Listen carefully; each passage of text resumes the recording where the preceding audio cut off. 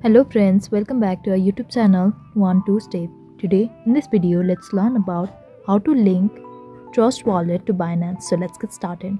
At first, let's get into Trust Wallet app.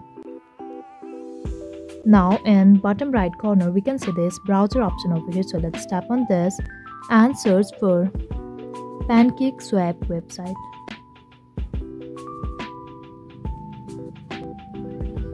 Here in the top right corner we can see this connect button over here so let's tap on this and click on trust wallet and click on connect. Now click on this icon over here and click on wallet.